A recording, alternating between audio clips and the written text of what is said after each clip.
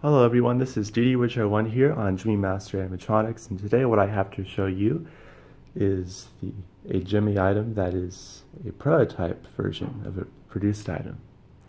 So this particular item, it's like a floating face, it's a face-out ghost mechanism and head and they put it on a small spirit ball from back in the day mechanism and it kind of floats around.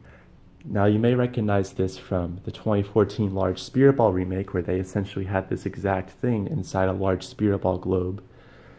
But this one doesn't have the globe. Instead of a globe and four legs, it just has a spot for three legs. I don't have the legs with this because they were missing when I got it. But it takes three you know, Spirit Ball legs. And it's just very strange because it's a floating character, but it's not inside a globe.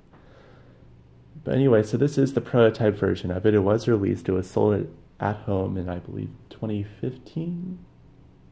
2016, maybe. Yeah, 2016, I think. Sorry, I just kind of tired right now, long day. But yeah, so a major difference with this compared to the produced version, which not many people even knew existed, is that there's actual fabric here around the mechanism. With the produced model, there's this rubber kind of tube thing around it, which almost looks like a stack of like pancakes. So I would kind of call it the pancake ghost because it's just a very strange look. But yeah, this one actually has fabric around everything, so that's pretty interesting.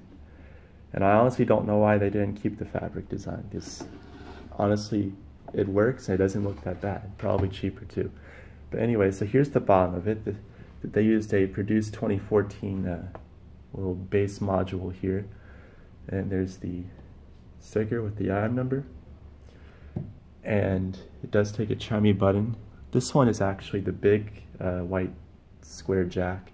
So if you have an old uh, step here pad from Spirit Halloween or Techie, then it should be able to actually activate this item, which is pretty cool. Here's the button, and and I'll show you the face. It's the same uh, screamer face that was used on like the Ghastly Gentleman, Quivering Doorman, and the face shifters and all those characters.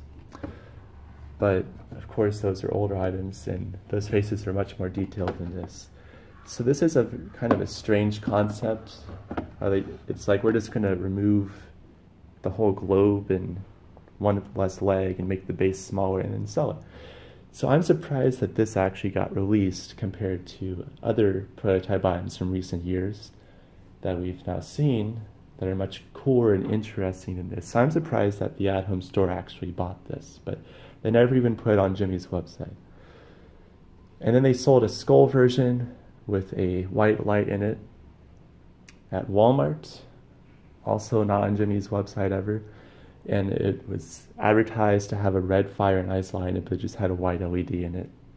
Still pretty cool. And then there is an, another skull character that was unreleased, and I actually have it, but when I put batteries in it, I could not get it to work, so I'll have to look into that.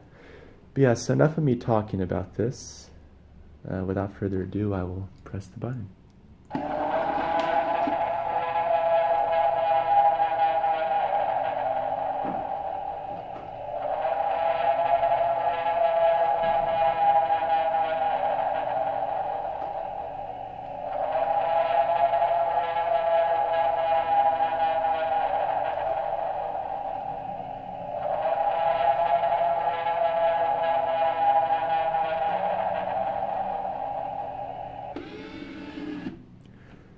So yeah, that's all it does. I guess it looks pretty cool in the dark, you know. Um, it would look even stranger probably with, with the spirit ball legs on, just because with this it looks like it's just kind of floating on a tabletop surface, but with the legs, it's like, what's going on there? But anyways, so enough of me talking about it. I've sh shown you what it does, and I've told you the backstory on it. So yeah, I have nothing else to really say on it, but thank you guys so much for watching, and I hope you enjoyed this review.